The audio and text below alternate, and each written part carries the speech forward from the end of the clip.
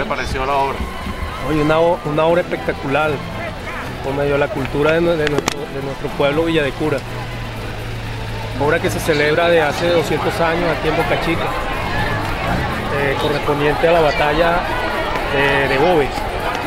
Pero es la primera vez que vemos una elaboración como esta. Es la primera vez que se da y, y excelente, muy bien, todo. ¿Qué le pareció la participación de la juventud? Oye, mayoría, todo. ¿Algún familiar tuvo usted allí participando? Tengo una sobrina participando, dos sobrinas en la obra y oye, excelente. Muy bien todo. Maravilloso. Está muy bueno que hayan revivido los momentos de nuestros héroes de la independencia.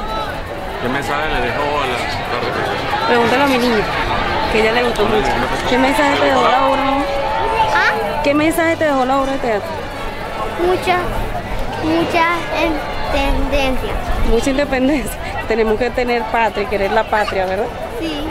Pasamos a la televisión, ¿qué le pareció la obra? Oye, bien bueno, bien chévere, bien ¿Qué real. le dejó? Oye, algo histórico. seguir luchando por nuestro país. Bueno, todo, todo muy bien, pues seguimos que cuando se vuelva a hacer eso se, sea mejor y lo más que pueda.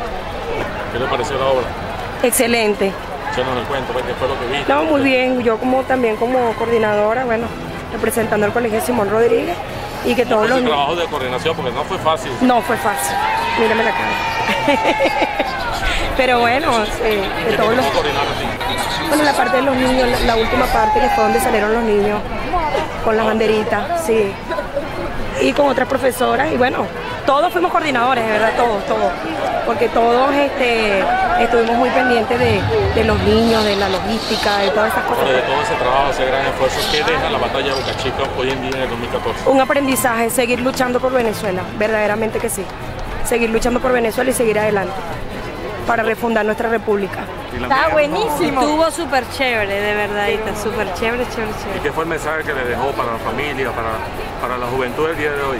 ¿Cuál fue lo más importante que usted cree acaba de ver en este ¿Qué te puedo decir?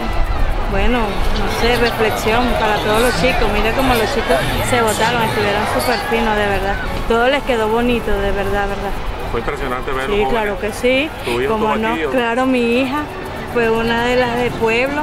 Fue muy emocionante. Bueno, a mí me dio ganas de llorar cuando los vi haciendo todas esas cosas. Pero de verdad se la comieron. Estuvo muy chévere, de verdad. Emocionante. ¿Su nombre es? Yesenia Pumero, Gracias. Del asentamiento campesino Elsa Manga. ¿Qué le Bueno, pareció, María? ¿Qué? Maravilloso, pues esto es- son presencias que el Señor Jesucristo desde de su muerte, ahí se ve el sacrificio de que luchamos por un porvenir y una Venezuela mejor, en cada, en cada pueblo con su cultura. Este, muy bien porque es un, un avance más en la revolución de, de Venezuela. ¿Qué Que, cree usted fue, fue el mensaje que se transmitió el día de hoy para los jóvenes? ¿Cuál fue el bueno, este, a la juventud, un llamado porque es más, más, ¿cómo es? Como culturizándose más en, en su, en su, en su tradición cultural que hay aquí en Venezuela y en su pueblo, porque ellos no conocían de esto, me parece que muchos estaban participando, pero no sabían qué era esto, pero ahora sí se, Muchos de los que asistieron tampoco sabían. Sabían, imagínense. Bueno, pero es muy bueno porque así se culturizan más y saben más en la lectura y se entusiasman más al conocer más las historias de Venezuela en cada batalla, qué fue lo que sucedió y por qué.